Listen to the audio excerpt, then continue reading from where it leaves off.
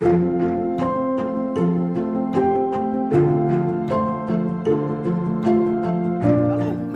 Mimi naitwa Nabii Lustesha, ni kukaribisha sana katika ibada ya Jumapili hii, ibada ambayo itakuwa sio ibada ya kawaida, ni ibada yenye nguvu kubwa sana, ibada ya ukombozi wa mwanamke pamoja na uzao wake. Na unaona maandiko yanasema kwamba katika kitabu cha Matendo ya Mitume ile sura ya tatu ya kwamba wakati Petro na Yohana alikuwa anakwenda hekaluni muda wa ibada, walikutana na mtu ambaye alikuwa ni mlemavu tangu tumboni kwa mama yake.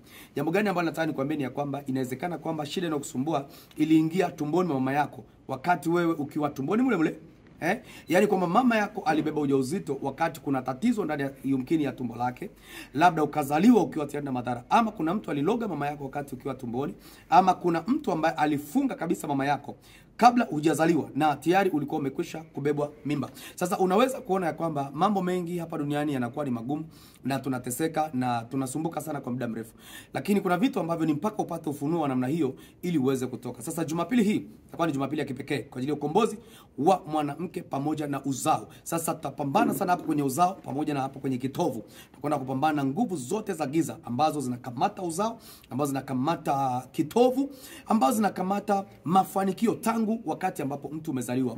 Kumbuka itakuwa ni Jumapili ya tarehe ishirini ya mwezi wa kumi mwaka 2024. Ni Jumapili ambayo itaambatana pia na matendo ya miujiza na maajabu pamoja na neno la kinabii. Usipange kabisa kukosa. Kikubwa kabisa, njoo na familia, usiache mtu yoyote nyumbani. Hakika utakwenda kubarikiwa na utafunguliwa kwa namna ya ajabu kabisa. Shalom.